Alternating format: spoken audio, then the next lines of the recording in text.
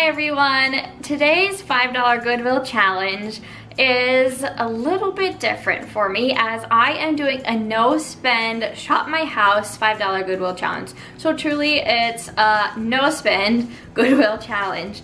I have plenty of thrifted items that I have around my house that I am going to shop and use to decorate with for a tablescape or just to put around my house. This challenge is put on by Hillary at Old World Home and there is a giant playlist that she's put together so go check out all the other videos as well after you've watched mine. If you are new to my channel, welcome. I'm Davee and in my videos I do thrifted and simple living, DIYs, and homemaking, and I'd love to have you join my YouTube community and subscribe.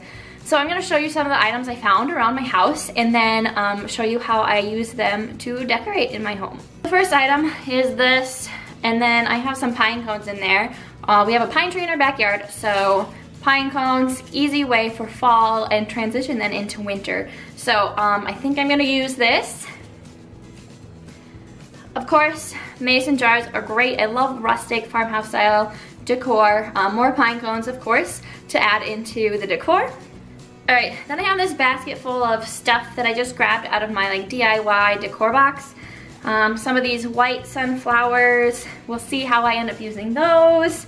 Um, just some broken pieces off a wreath I had um, of some leaves, so we'll see if I incorporate those or not. Um, this little teeny cake stand I've had for quite some time. Um, these, I think they're from the Dollar Tree, but I used them to make a Dollar Tree wreath and I just like the burlap rustic look of those, so I pulled those out. I might use this chalkboard that says Happy 4th I wrote a while back, um, and of course I change it for fall. I have a wreath here, and then this basket, and finally this burlap runner. I have two burlap runners and I totally forgot about this one until I looked around my house. So those are all my items I already own and had and of course some outdoor items which is great to pull into your decor. So I'm gonna see what I can make. So here's what I did on my table, very simple. I didn't use everything. Here's my burlap runner, some of my jars here. I had two jars. Um, some of those extra leaves I had. Uh, I did find these. I had already used them um, in my fall home decor tour. If you haven't watched that, go do so. But I put some of those gourds and little pumpkins in there with my pine cones. And I just think it's so simple. And our table is very old. It's over 40 years old from my parents when they first got married. So I thought it'd be kind of nice and rustic to add to that touch there.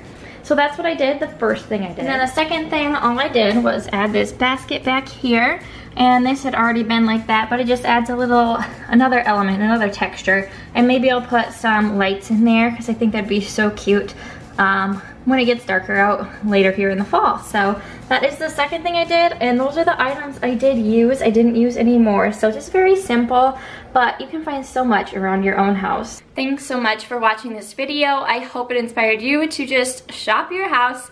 But of course, if you want to, go to a Goodwill, go to a thrift store, and don't spend more than $5. So I hope it inspired you, and I hope you have a blessed and wonderful day. Don't forget to hit that subscribe button if you are new, or and the bell notification if you've been subscribed for a while. Anyways, have a blessed and wonderful day. Bye.